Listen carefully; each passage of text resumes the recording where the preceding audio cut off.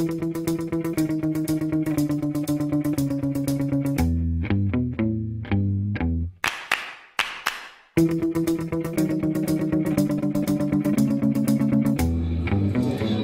wondered what her new house would look like, and if it also had a fish pond in the garden. When she thought about leaving her friends, her stomach felt like it had butterflies fluttering inside. She called out to her sister, Renee, are you scared about moving? No answer came back. Renee was already fast asleep. It took a long time for Celeste to fall asleep that night.